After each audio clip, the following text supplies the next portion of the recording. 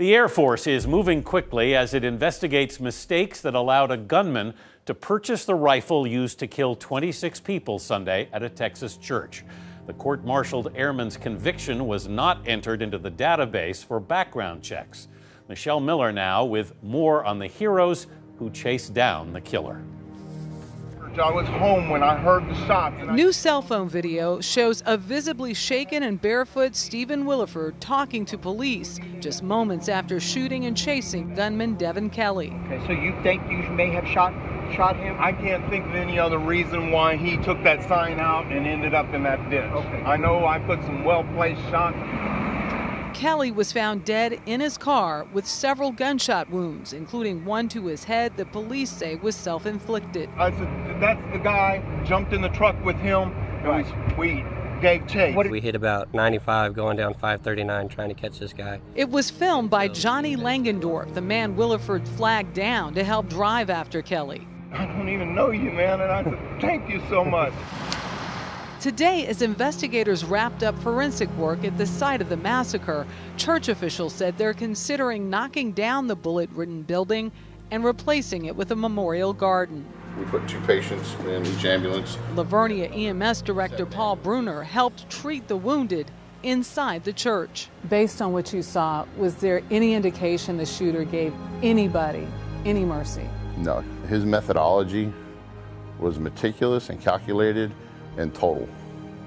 So no, I don't believe he, he, he didn't want anybody to to survive.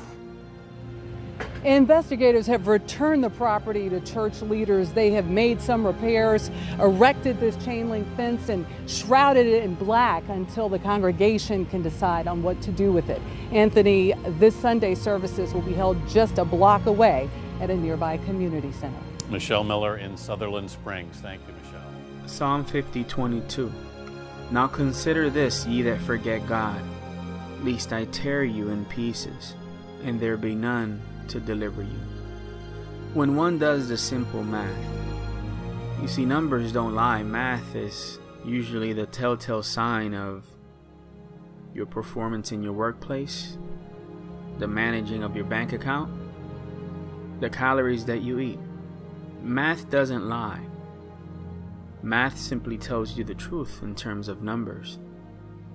And when one does the math, and when one does the multiplication, the division, the subtraction, one realizes that in 2017 and headed into 2018, this world, this world is headed down a downward spiral where the demonic is visible and plain right in your face. Meet the transgender Americans who won on election day. Folks, when you do the math, America is headed down a downward spiral. The world is headed down a downward spiral. The good has become bad. The bad has become good. And there is no new thing under the sun. But until you realize the powers that you're dealing with, you will be caught up in the political agenda that either you need more guns or you need to take away more guns. That you need more legislations or you need to take away more legislations. What you're dealing with is an enemy that cannot be killed with a nuclear weapon if you wanted to. And that enemy is the father of all lies, Satan. Substitute teacher 23 physically removed from class over sex allegations with teen student. Are your kids even safe at school nowadays? Because this is happening way too often. Every week. Regular looking women, too. Every week. Daddy can be mummy. Womb transplants could allow men to have babies tomorrow, claimed expert. We've already known that this was coming, but now it appears that they're ready to do it even tomorrow. Why am I showing you this? Are you exalting the demonic? No, I am not exalting the demonic. I'm doing this to show you who your real enemy is.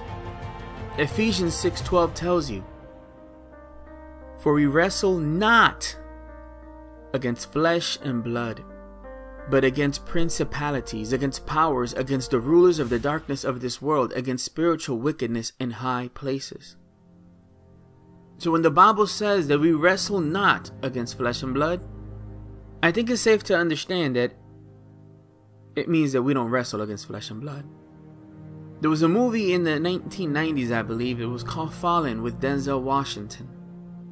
And in that film, there would be a demon inside of one body, and when they would kill that body, that demon would even laugh because, hey, you didn't kill me, and he would just jump into another body.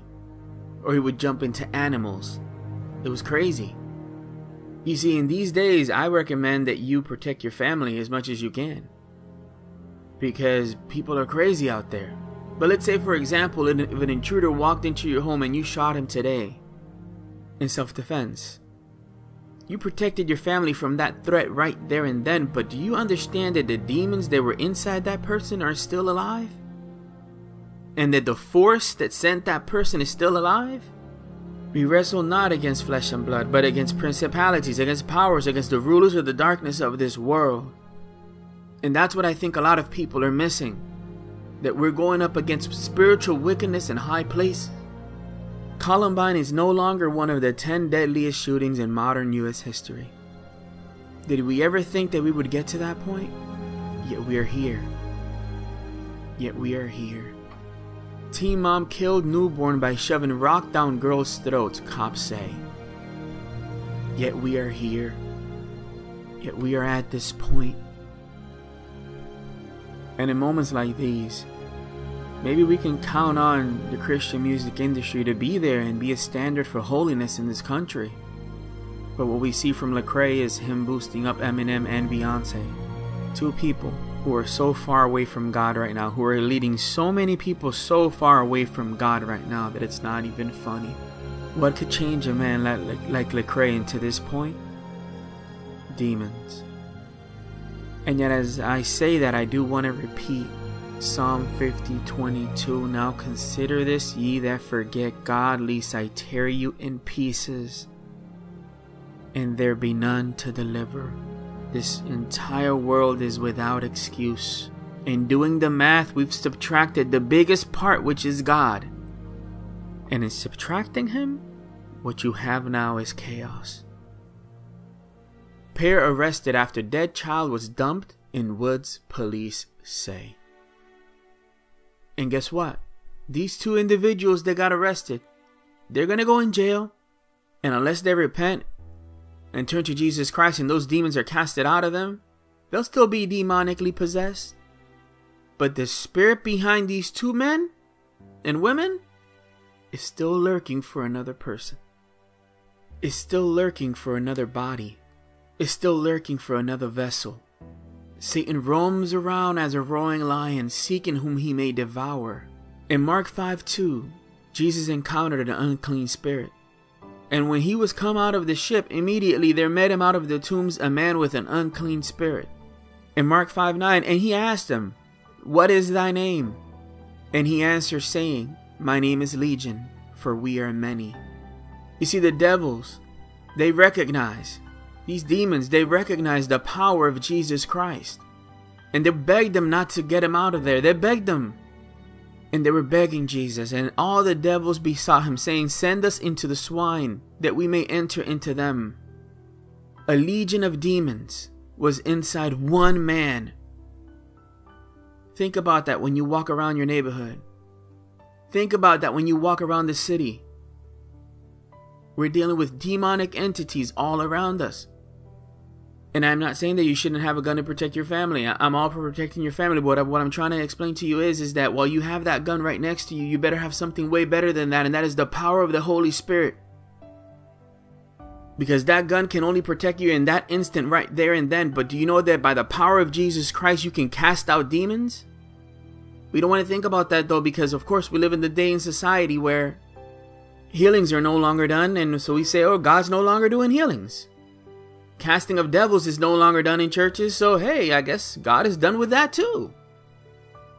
But no, God is still in the rebuking demon business.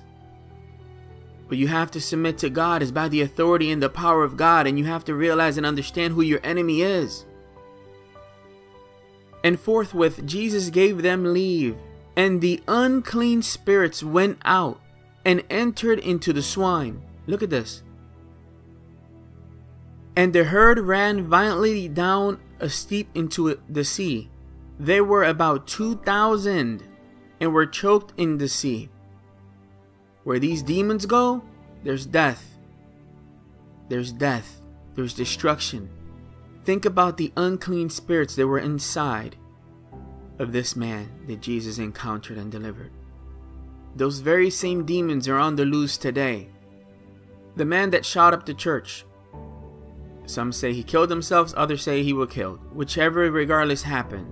The demons inside that man, they're out on the loose searching for a next victim. That is the point that I'm trying to make here today that we're dealing with a legion. But as we're dealing with these legions of demons, it is imperative for you to understand that Satan is defeated. And that by the power of Jesus Christ, you've been given authority under Jesus' name to cast out devils, to heal the sick. In Jesus' name. In Jesus' name. Oh, Satan has worked really, really hard at you not believing in miracles anymore. Satan has worked really, really hard on getting you not to think that God can deliver anymore. But God is a deliverer. God is a deliverer. I mentioned earlier in this video that not even a nuclear weapon could destroy the enemy that you're facing Satan. But you know what could? The name of Jesus Christ. There's a name above all names. And there is power in his name. Because Jesus is the only way and because Jesus is God. I've seen sick people healed. I've seen cancer delivered. I've seen alcoholics delivered. I've seen my diabetes go away. I've seen me come out of the hospital in, in, in, a state that I shouldn't have come out of. I've seen you. What has God delivered you from? From bad theology? From lust? From wicked ways?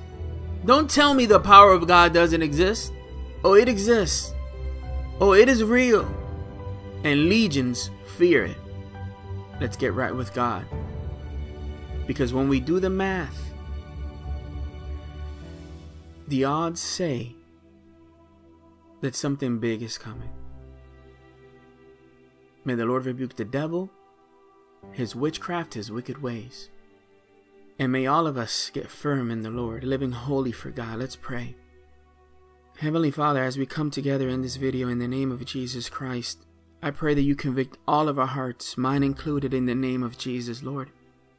That you can reveal to all of us all of our wicked ways and all of our sins. That you can reveal to us how we've compromised your word, how we've compromised your holiness, how we've compromised your statutes and commandments and allow us to live a holy life before you, Lord, because we need you now more than ever in this world, Lord. We need you, Jesus Christ. We need you, Lord. There are some that are watching this that are at that brink that they want to quit because they've backsliding so far that they don't know how to come back home. In the name of Jesus, come back home. If we repent, God is faithful. He will restore you. Come back home. Run no longer. Run no longer in the name of Jesus. There are others who may be experiencing actual relationships with people who are possessed with spirits of manipulation, with spirit of spirit of lies and control. Recognize what you are dealing with. It's something that is not about flesh and blood. There's something deeper behind it. Get on your knees and pray. Get on your knees and fast and rebuke in Jesus' name. And don't fear, for Satan is defeated. In Jesus' name, amen. I love you. God bless you.